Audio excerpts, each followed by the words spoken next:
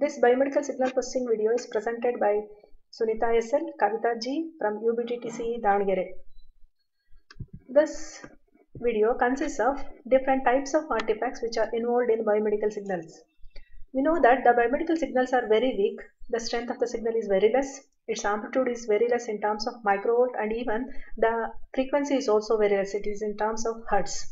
Any signal other than of interest is called the interference art artifact or the noise. The main sources of noises in biomedical signals are physiological noise, instrumentation noise or it may be environmental noise. Random noise, structured noise or the physiological interference are the main three different types of noises which are involved in the biomedical signals. Before studying about the random noise, now we'll see what is deterministic signal. The deterministic signal is a signal which is having a definite structure, definite shape and even the definite size. So it can be easily represented by using the mathematical function of time. Uh, naturally, if it is possible to represent by using the mathematical function means it can be easily predicted by using the past values of the signals. The signal which is not possible to represent by using the mathematical function is called the non-deterministic signal or the random signal.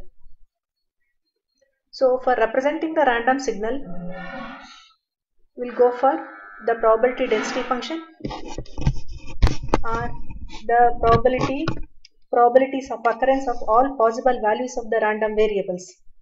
This type of noise, that is the random noise, occurs mainly due to the thermal effect of electronic devices. The other important noise in biomedical signal is the structured noise. Usually this is mainly due to the power line interference of electrical lines. The bandwidth of this type of signal is 50 Hz or the 60 Hz. It, the interference of this type of signal is known in advance but the phase of this type of interference is not known in advance. It cannot be predicted. Because of the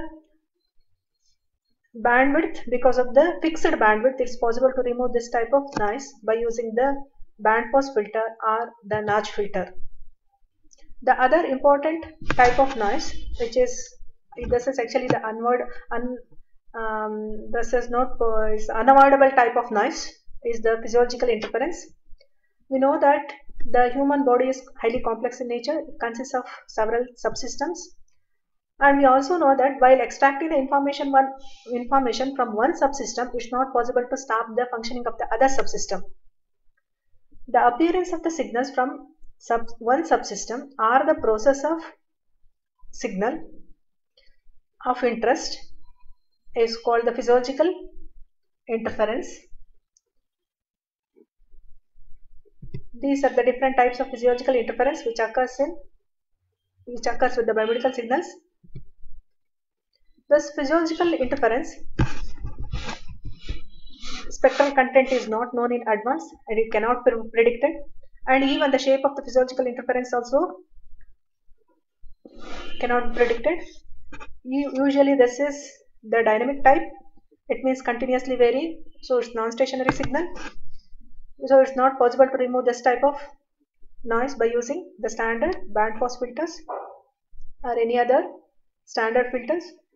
So you will go for the adaptive filters with reference inputs for removing the physiological interference types of noise. Hence, the biomedical signals cannot be used directly without pre-processing. And there is no single type of pre-processing method for removing all types of all three different types of noises. The pre-processing methods usually depends on the type of noise whether it is a structured noise, thermal noise or the physiological interference. And it also depending on the depends on the type of signal and the strength of signal.